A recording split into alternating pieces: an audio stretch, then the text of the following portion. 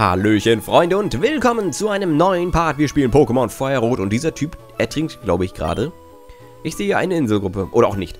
Naja, äh, ich hatte mir schon Sorgen gemacht um ihn, nicht? Aber er hat sich wohl noch gefangen. Das letzte Mal haben wir hier auf dieser Route bereits die ersten Trainerboys äh, besiegt und ein Trassler gefangen, welches wir vielleicht sogar irgendwann mal ins Team nehmen werden.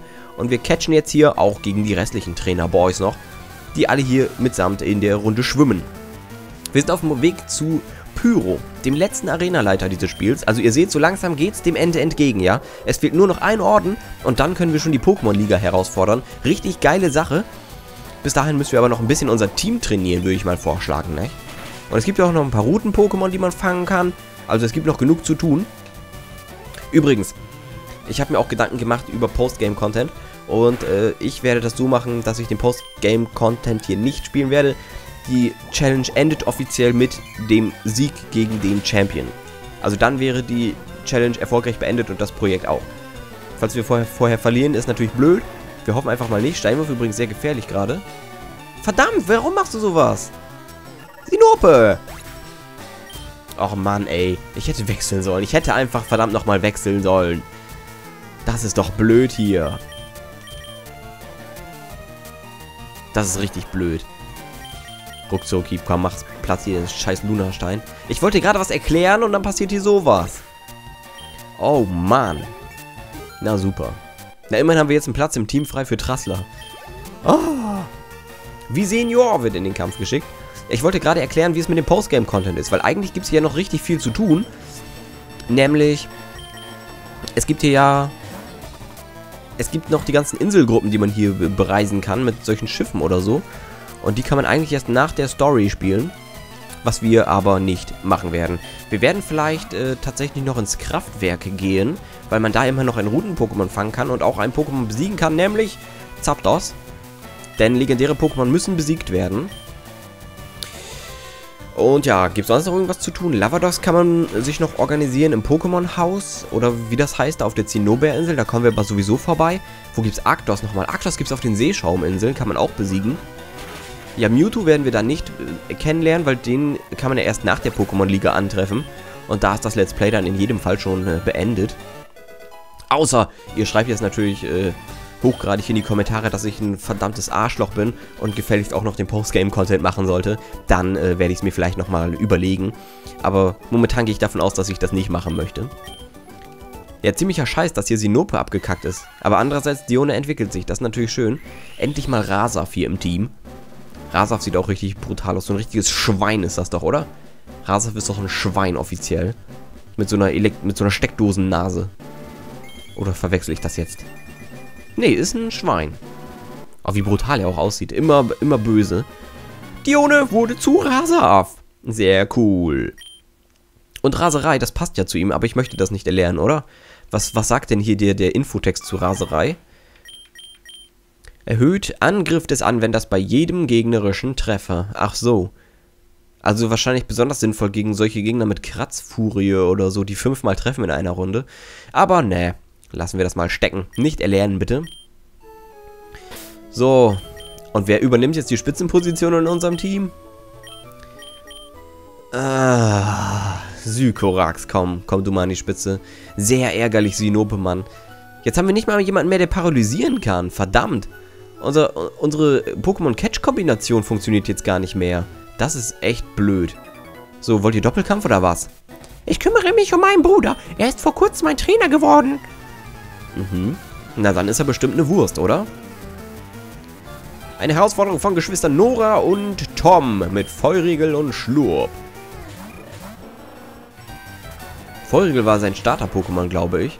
Und Hydra immer noch verwirrt. Das ist natürlich blöd. Ich hoffe, Feuril kann keine Feuerattacke, die auf Sykorax geschleudert wird, weil das wäre durchaus böse. Machen wir einfach mal Schlitzer auf Feurigel und, äh, was noch? Äh, Durchbruch auf Schlurp, weil das ist sehr effektiv. So, töte ihn bitte mit Schlitzer, das wäre episch. Jawoll, Baby! Sehr cool, keine, keine Sorgen müssen wir uns mehr machen um eine Feuerattacke. Und Durchbruch auf Schlurp. Vielleicht äh, wird er auch sogar besiegt mit einem Schlag, das wäre episch. Jawoll! Sehr guter Job, meine Freunde, trotz Paralyse. Wahrscheinlich sollte ich das mal heilen, ne? Weil das nervt ja schon ein bisschen, so eine Paralyse, die ganze Zeit. Das ist keine Art, meinen kleinen Bruder zu behandeln. Ja, wieso willst du dann kämpfen, ey? Sein erster Kampf, ne? Und er hat ihn direkt verloren. Wieso startet überhaupt mit Level 30 als Pokémon? Das geht eigentlich gar nicht. So, Paraheiler. Den suchen wir jetzt. Paraheiler. Da ist er. Und wir haben auch fünf Sonderbonbons. Das ist gar nicht mal wenig. Muss ich mir mal gucken. Muss ich mir mal angucken, ob ich da irgendwie mal einen Sonderbonbon verteilen möchte. Denn die schmecken richtig gut. Und was seid ihr denn hier für eine Kohorte? Wieso wird hier überhaupt nicht angegriffen? Ich habe Schutz drin. Ich habe einen verdammten Schutz drin. Wieso ist dieses Trassler auf einmal Level 40 und das, was ich gefangen habe, war Level 6? Das ist ziemlich unausgeglichen. Ich hätte lieber das Level 40er gehabt. Ja, gegen Level 40 lohnt sich ja sogar ein Tausch gegen Hydra. Ziemlich brutales Level, muss ich mal sagen. Aber ihr seht, Schutz wirkt halt nur gegen schwache Pokémon. Und wenn letztendlich ein Pokémon auftaucht, welches stärker ist als das Pokémon, was wir in der Spitze des Teams haben, werden wir trotzdem in den Kampf verstrickt. Psychokinese, oh mein Gott, ich hoffe, das macht nicht allzu viel Schaden. Nee, macht es nicht. Aber das ist geil, Trassler kann Psychokinese lernen. Da freue ich mich ja schon jetzt drauf, wenn wir Trassler ins Team nehmen. Mit Psychokinese ist dann durchaus äh, gut, ne? Durchaus ein, eine gute Sache. So, Fliegerino, Trassler, keine Chance. Wie viele Erfahrungspunkte gibst du eigentlich als wildes Pokémon? 400, das ist ja schon ein bisschen lächerlich. Kämpfen wir mal gegen euch, Boys. Diese Gewässer sind trügerisch. Wie das, äh, wie dieses komische Dreieck. Wie hieß das nochmal? Dieses Dreieck, wo die ganzen Schiffe äh, absaufen. Das Bermuda-Dreieck, genau. So, Sykorax, dann zeig mal, was du gegen Dodo machen kannst. Dodo ist natürlich eigentlich vom Typ her im Vorteil, wegen Flug auf Käfer. Aber das interessiert mich äh, ein Furz. Ja, das muss man mal ganz klar so sagen. Und Camerupt. Camerupt! Einer der coolsten Namen. Wir wechseln auf Nerite und mit einer richtig schönen Surfer-Attacke löschen wir auch bei ihm äh, ja, das, den brennenden Ehrgeiz des Kampfes. Ja, sehr philosophisch. Camerupt. Oder Camerupt. Aber das klingt wesentlich uncooler als Camerupt. Das kommt ja von Eruption wahrscheinlich. Und von Kamel. Das ist äh, durchaus äh, die Herkunft des Namens. Und Knilz wird in den Kampf geschickt. Was machen wir gegen Knilz? Ich möchte weiter kämpfen mit Sykorax. Weil der muss auch mal ein bisschen Level hier auf, aufstocken. Level 41 möchte ich mit meinem Team sein, bitte. Das wäre echt geil. Hagen heißt er übrigens. So heißt auch ein Ort hier in der Nähe irgendwo und da gibt es eine Disco. Da sind wir früher mal hingefahren. Ja, damals, als ich noch cool war und in der Disco war und richtig die Chica Bonitas aufgerissen habe, den ganzen Abend lang. Das waren noch Zeiten. Und die konnten sich auch gar nicht halten, nicht? Wegen meinem Traumbuddy. Aber das führt jetzt zu weit. Schwerttanz, eigentlich gar nicht mal schlecht, aber wegen meiner Philosophie, keine Booster-Attacken zu lernen, lasse ich die einfach mal stecken. Krebskorps. Ich, die ganzen, die ganzen Boys aus der, aus, aus die ganzen Gärtner aus Pokémon XY hatten doch auch Krebskorps oder verwechsel ich da jetzt was? Mal gucken. Ich glaube, das sind die. Das sind die tatsächlich. Genial. Schockwelle sollte trotzdem sehr viel Schaden machen. Krebskorps und Karabi sind übrigens auch entfernt Verwandte. Obwohl das eine ist eine Krabbe und das andere ist ein Krebs. Und ich glaube, da ist der Unterschied begraben. Naja. Als ob ich das jemals feststellen könnte. Radfratz, das brutalste Pokémon, natürlich zum Schluss. Da kann auch Dione mal wieder ein bisschen hier Action zeigen. Radfratz, vor dem habe ich nicht sonderlich viel Angst. Superzahn ist die einzige gefährliche Attacke, die ich fürchten muss vor Radfratz. Mach mal hier Karateschlag. Also Radfratz ist so klein, dass hier Karateschlag wahrscheinlich besser ist als Fußkick. Es gibt wenig Pokémon, die kleiner sind als Radfratz. Gibt ja auch kaum Erfahrungspunkte, ey. Echt erbärmlich. Das war durchaus gefährlich. Ja, traurige Sache. So, kämpfen wir noch gegen die anderen Leute hier. Schwimmen macht Spaß, aber man holt sich schnell einen Sonnenbrand. Ja, dann äh, muss, äh, soll ich dich eincremen. Das äh, will ich natürlich gerne machen. Alice. Lunastein. Oh nein. Schon wieder Lunastein. Der hat doch eben erst ein Pokémon für mir vernichtet. Das fand ich nicht nett. Diesmal sind wir ein bisschen vorsichtiger, hoffe ich. Und wehe, er macht Steinschlag oder so, weil das trifft natürlich auch Eis sehr effektiv. Steinwurf, nein. Aber Nereit kann natürlich ein bisschen mehr aushalten als so ein zerbrechliches... Als so ein zerbrechliches, äh, wie hieß das Ding? Sinope? Papinella? Ist Papinella gewesen? Ich glaube schon. Das kannst du ja schon mit irgendwie...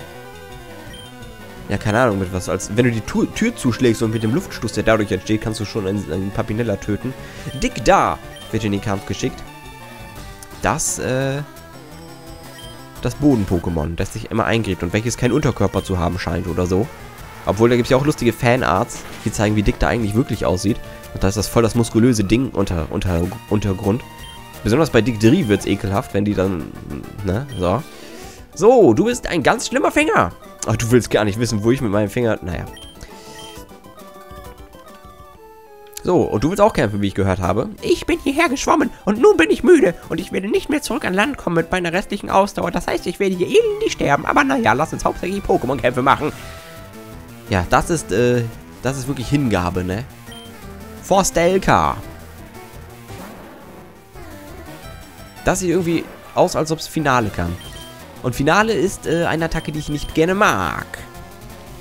Forstelka kann sich in die Luft sprengen. Ich glaube, das ist sogar schon mal passiert, oder? Ist das nicht sogar schon mal passiert in dieser Challenge, dass sich Forstelka in die Luft gesprengt hat? Ich möchte es gerne nicht wiederholen. Deswegen Eisstrahl. Gucken wir mal, wie viel Schaden das macht. Der sieht doch selber schon aus wie so eine Wassermine, oder? Auf Finale, tatsächlich. Oh Mann, Finale, ey. Ich habe Angst vor solchen Pokémon, die sich hier die ganze Zeit in die Luft sprengen. Ich habe schlechte Erfahrung damit. Altaria das Flug-Pokémon. Bestehend aus Wolken, wird natürlich mit einem geschickten Eisstrahl sofort vom Himmel geholt und Altaria kann sich zum Glück nicht in die Luft sprengen. Das ist definitiv eine ernüchternde Botschaft für dich, aber für mich natürlich umso besser. Nach dem Kampf unbedingt müssen wir einen Trank reinschmeißen für Nereit, weil hier doch schon einiges äh, an Schaden bekommen. Donphan, das äh, schaffen wir aber noch hoffentlich. Donphan, mit einem Surfer werden wir da agieren. Donphan sieht eigentlich auch richtig cool aus, finde ich. Der hat auch richtig Style. Wenn ich ein Pokémon-Trainer wäre im Real Life, dann hätte ich einen Donphan in meinem Team, glaube ich. Und Electek. Donphan und Electek. Von beiden Pokémon drei Stück im Team und das ist das perfekte Team. So, Level 42. Das äh, sieht doch schon mal gut aus, Francesca. Ich bin am Ende meiner Kraft. Ja, dann äh, wirst du wahrscheinlich wirklich sterben. Lapras ist so groß, dass es dich trockenen Fußes über das Wasser tragen kann. Ja, klingt so, als ob du wirklich wüsstest, dass ich einen Lapras im Team habe. Aber ich glaube, sie hatte in ihrem Team normalerweise einen Lapras und deswegen hat sie diesen Spruch einfach geäußert. So, Tränke. Wir benutzen Tränke. Ach man, Sinope, wieso bist du nur gestorben? Das ist doch echt doof. Du warst so gut, du hattest Wasser, äh, du hattest Pflanzenattacken und vor allem du hattest Paralyse. Wie schön war das denn, um Pokémon zu fangen? Unsere Fangkombination geht jetzt nicht mehr. Das ist echt ärgerlich. Naja, Kämpfen wir noch gegen den letzten hier aus eurer Truppe. Gibst du mir das Pokémon, auf dem du stehst, wenn ich gewinne? Bist, bist, bist du eigentlich komplett bescheuert? Sind wir hier bei Yu-Gi-Oh! Dual City oder was? Katja, Glutexo. Und wenn ich gewinne, dann äh, bekomme ich dein Glutexo. Das, äh, na gut, lass uns diesen Deal machen. Oder wollte sie das nur in eine Richtung? Das wäre sehr gemein. Wechseln wir mal lieber, denn Glutexo kann bestimmt eine Feuerattacke wechseln wir zu Lereit. Ist ja jetzt wieder gut bei Gesundheit und kann wahrscheinlich auch eine Feuerattacke überleben. Trotz dem Eiszweittyp macht er kaum Schaden, ey. Macht kaum Schaden. Wegen einfach dem Wassertyp, der, der kontert das aus. Der gleicht das aus. Sehr schön. So, Eisstrahl äh, habe ich nicht benutzt, sondern Surfer. Durchaus gut. Und Luna. Oh, wieso haben hier alle Lunastein? Ist das hier das neue Trend-Pokémon oder was? Ist das das neue äh, das neue, weiß ich nicht, Pikachu? Jeder hier hat Lunastein. Das ist doch unglaublich. Aber diesmal nimmst du keins von meinen Pokémon mit, ja? Das war nämlich sehr gemein hier. Groink! Gronk! Wir spielen hier gegen Gronk! Oh, da kann ich wieder einen super, super Videotitel machen. Äh, dass alle Leute klicken, weil die denken, das ist ein Gronk-Video. Und dann sage ich Pokémon, äh, Gronk in Pokémon oder so. Ich bleib mal drin und schaue, was passiert gegen Gronk. So sieht also Gronk in Pokémon aus. Sehr interessant. So, töten wir Gronk. Level 27. Hat ja keine Chance, dieses elendige Schwein. Ist wirklich ein Schwein. Oh nein, verwirrt. Oh, das mag ich nicht. Bitte töte dich nicht selber, Nereit. Oder, oder treff dich zumindest schon mal nicht selber. Das wäre ja auch schon mal ein Anfang. Mach mal lieber Eisstrahl. Aber das hat erstaunlich wenig Schaden gemacht, wenn ich das mal anmerken dürfte. Das hat ja nicht mal die Hälfte, des, Hälfte HP gemacht. Das ist ja echt wenig. Sehr uncool. Schnüffler, auch das noch. Schnüffler. Der schnüffelt hier einfach, äh, das ist so ein Trüffelschwein oder was. Naja, zumindest nicht mehr verwirrt. Das ist eine gute Sache und Surfer sollte jetzt ausreichen. Sehr schön. Du hast aber noch ein richtig volles Team und Fukano ist eins dieser Mitglieder. Aber der hat natürlich keine Chance. Keine Chance gegen äh, Lapras namens Neraid. Das ist sehr cool. Bedroher. Das ist mir vollkommen Schnuppe. Denn guck mal hier, Surfer. Ich hoffe, ich benutze nicht Surfer so oft, dass ich dann äh, ja, zu Fuß nach Hause schwimmen muss. Aber nein, die VM verwendet natürlich keine AP auf der Overworld Map. Und Radfratz wieder mal. Oh, da können wir endlich mal wieder hier Dione in Action sehen. Unser beliebtes Rasaf, ja. Dione. Das ist äh, dein letztes Pokémon, ja. Und dann so eine Wurst. Keine Chance gegen Karateschlag, würde ich mal sagen. Mit dem Karateschlag können wir auch Ziegelsteine zerbrechen und dann auf jeden Fall auch Radfratz, ja. So, Katja. Oh, ich habe verloren. Gib mir jetzt dein Pokémon oder zählte der Trade nur auf einer Seite? Bist du den Seeschau? Jetzt noch ablenken oder was? Willst du mich eigentlich verkackeiern, ey? Erst macht sie hier so eine Wette und dann äh, lenkt sie jetzt ab von ihrer Inkompetenz. Naja, das nächste Mal, wenn wir Pokémon zocken, geht es hier weiter Richtung Seeschauminseln und äh, Zinnoberinsel auf den Wasserrouten. Mal schauen, wie viele Boys da gegen uns fighten wollen. Bestimmt viele. Und mal sehen, ob das äh, Rätsel der Seeschauminseln schon gelöst werden kann. Das ist ein großes Mysterium. Bis dann, Leute, und Tschüssikowski!